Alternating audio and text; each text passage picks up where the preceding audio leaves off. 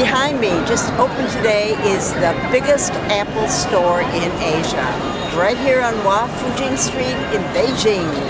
And you would think that they're giving everything away inside. It's wall to wall people.